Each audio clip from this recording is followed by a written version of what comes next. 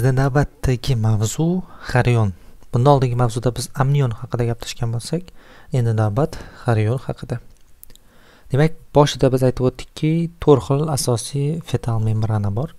Bular amnion xarion yana yolksak e, ya'ni sariqlik qopi va allantois bu ikkinchi muhim qismi hisoblanadi xarion amniondan keyin turadigan. Xarion rivojlanish davomida ikkinchi haftaning oxiriga kelib taxminan o'n uch o'n to'rtinchi kunlarga kelib to'liq shakllanadi. Va xarionni ahamiyati bu e, fetusni ya'ni o'sha embrionni oziqa bilan ta'minlash edi agar esinglarda bo'lsa. E, yuqoridagi suratda mana bu yerda xarionni ko'rishingiz mumkin. Butunlay hamma yog'ini o'rab olgan qismi xarion deb ataladi. Bu e, embrionni qutbi ya'ni e, embrional qutbi to'g'rirog'i ya'ni vesidu va bazalis tomon ketadigan endometriyaga qarab turgan qutb hisoblanadi va o'sha qutbida xorionik velilar hosil qiladi. Ya'ni xorionik velini shakllantirishda aynan xorionni ahamiyati juda yam katta. Abembrional qutbda esa e, o'sha xorionik velilar nekrovelilar rivojlanmaydi. Chunki u yerga unchalik zarurati yo'q. Bu tomon e, abembrional qutb hisoblanadi. Asosan embrion mana shu xorion o'sha embrional qutbda joylashganligi uchun o'sha tomonga yaqin bo'lganligi uchun o'sha sohada xoriyanik veli rivojlangan. Agar eslaydigan bo'lsak embrionlar rivojlanishi ikkinchi haftasini so'nggi kunlarida xaryon butunlay shakllangan bo'lardi. Mana bu xaryonik bo'shliq. Xaryonik bo'shliq keyinchalik butunlay egallab oladi hammani yoqni ichini. Egallab olgandan so'ng butunlay dumaloq shaklga ega bo'ladi va natijada sitotrofoblast bilan birgalikda ya'ni o'zi asosiy ikkita tarkib bor. Sitotrofoblast mana bu yerda eng muhim qismi hisoblanadi. Ya'ni keyinchalik sinsisho trofoblast hosil qilish uchun и somatoplevrik ya'ni ekstraembrional mezoderma kiradi. Ya'ni mana bu oq rangdagi chizilgan qismi somatoplevrik ekstraembrional selom bo'ladigan bo'lsa membrana bo'ladigan bo'lsa och yashil qismi esa bu sitotrofoblast hisoblanar ekan. Ustidagi to'q yashil esa sinsisho trofoblast deyishimiz mumkin bemalol. Demak mana shu ikkita asosiy qismi xarion hujayralarni hosil qilar ekan. O'zi belgilab turgan mana shu yopib turgan qismi e, ya'ni mana bu amnion bilan o'sha xorion oralig'idagi bo'shliq xarion bo'shlig'i deb atalar ekan. E, bu narsa amnionga o'xshab homilani harakatiga e, erkinlik beradigan bo'lsa xarionik bo'shliq bu ozuqa moddalarini amnionga o'tkazib beradi. Onadan kelgan mana bu yerda mana qon tomirlaridan kelgan ozuqa moddalarni o'tiryaptilar vitaminlar yoki boshqa bir zaruratga ko'ra kerakli bo'lgan mahsulotlar sensishotrofoblastdan va xaryanik vililardan o'tadi. Mana bu ikkilamchi ko'rinishi xaryanik vili bundan tashqari uchlamchi ko'rinishi ham bor.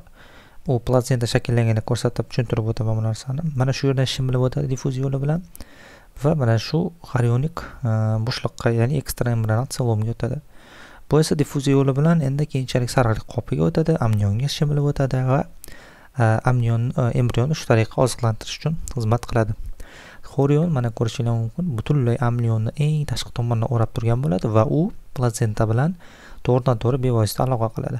Platsenta bilan e, amnionni aloqasi kindik orqali amalga oshadi lekin xorionda unday emas. Demak xorion sitotrofoblastlardan iborat bo'lgan eng tashqi qavat hisoblanar ekan.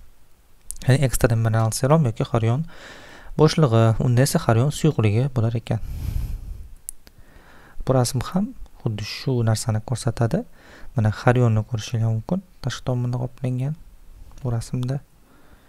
Ho'p bu yerda ham shunaqa e, xorion rivojlanishi e, ko'rsatib o'tilgan bu yerda ya'ni ekstra embrional celom paydo bo'ldi. Avvaliga mezoderma keyin o'sha joyda celom bo'shliq paydo bo'ladi. Avvaliga ekstra embrional bo'shliq deb nomlanadi keyin ekstra celom deb ataladi keyin xarionik bo'shliq degan nomni oladi. Nomi o'zgarib boraveradi. Shunda mana shu somatoblevrik ekstremra mezoderma sinsiy shotrof oblastlar bu yerda aynan sinsisho ko'rsatilmagan. Tashqi tomonda bo'ladi bu hammasi xorionni hosil qilar ekan bu rasm bizga qanday ma'lumot beradi mana xoriyanik koefitsient ko'rishingiz mumkin bu strelkalar mana bu amnionni va embrionni keyinchalik kattalashib hajmini ortishini anglatgan ya'ni xorion bo'shlig'i juda keng bo'ladi unda bemalol Э, mana bu amnion bo'shlig'i kattalashib borishi mumkin. Э, tug'ilishga yaqin butunlay egallab oladi xoriyon bo'shlig'ini. Xoriyon bo'shlig'ida xoriyon suyuqlikda borgan sari kamayishni boshlaydi. Э, e, amnion suyuqligi ham kamayadi sababi embrion kattalashadi oddiy misol mana ko'rishinglar mumkin suyuqlik qancha ko'p bo'lsa yu qattiq moddani hajmi kam bo'lsa shuncha suyuqlik konsentratsiyasi yuqori bo'ladi. A embrion yoki qattiq modda dedik o'sha narsani. Kattalashgan sari hajmi ortgan sari uning e, o'sha egallagan joyi kengayib kattalashib boraveradi. Natijada amnion va xorion boshlovchi suyuqlik ham kamayib boradi. Ammo bachadon o'zgarmaydi hech qanaqa. Baribir bachadon e, o'zini maksimum kattalash miqdori bor. O'sha maksimum darajaga yetgandan so'ng undan yoq kattalashib ketolmaydi a bunda embrion kattalashadi natijada xarion va amniatik suyuqliklar e, kamayishni boshlaydi. Xarion va amnion birgalikda hosil qiladigan xaltani nomi amniotik sek ya'ni amniotik xalta deb ataladi. Bu xarion bilan birgalikda ikkalasi hosil qilganda shunday nom oladi. Uziydagi ko'rinishini ko'radigan bo'lsak mana embrionni holati bo'lsa uni atrofini mana xarion egallab olganini ko'rishinglar mumkin. Biroz xiraroq bo'lib ko'ringan. Bu amnion suyuqligi uziyda e, amnion haqida qo'shimcha klinik ma'lumot berib o'tib ketay. E, amnion suvini qog'inoq suvini xiralashish degan holat bor. Bunga sabab gipoksiya bo'lishi mumkin yoki qanaqadir infeksiyalar bo'lishi mumkin. Amnion suyuqligini rangiga qarab ham har xil bo'ladi. Yashil bo'lsa demak gipoksiyani anglatadi to'qqiz anglatadi yoki xiraroq rang bo'ladigan bo'lsa biron bir infeksiyalar to'g'richimi yo boshqa bir qanaqadir fitoplasental baryer yoki o'sha plasental baryerdan o'ta oladigan viruslar misol uchun yoki biror infeksiyalar ta'sir ko'rsatib qog'inoq suvini xiralashtirib qo'yishi mumkin.